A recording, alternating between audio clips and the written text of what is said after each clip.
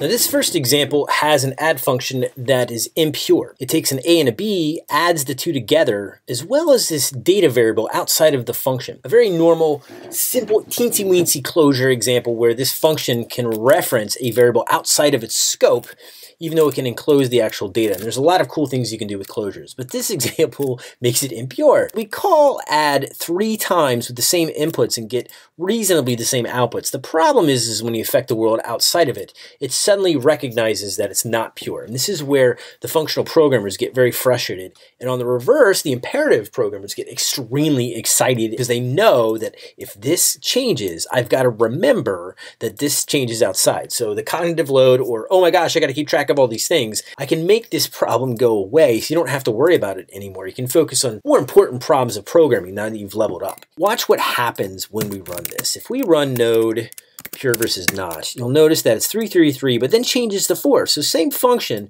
gives completely different results when adding data because of something internally.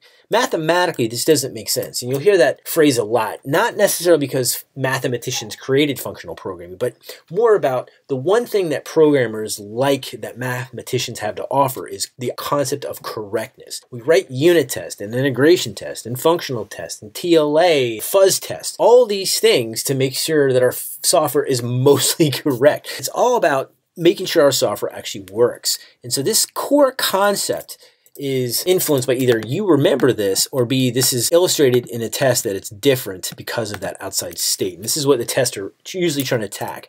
So let's take a look at this pure function here, which is add pure. It takes A and a B, but notice it doesn't reference anything outside of itself. This is how you remove things and make things more pure by removing global variables. You remove things outside of itself. Regardless of what happens in the outside world, we don't care. We're always going to get the same input, same output. It seems really simple, but let's let's review it to drive the point home, it's always the same. It's always 3, regardless of what happens. So 1 plus 2 will always equal 3, regardless of what happens outside. This seems ridiculous how simple it is, and I promise you it really is this simple. If you can memorize this and recognize why this gives you 4 and why these always give you 3, you were 90% of the way there. It's amazing how something so simple can be so earth-shatteringly changing, but it really is. So that's the difference between an impure function and a pure function strictly by removing the outside state or things that can change or mutation and still get the same result regardless of what happens and what you change it to.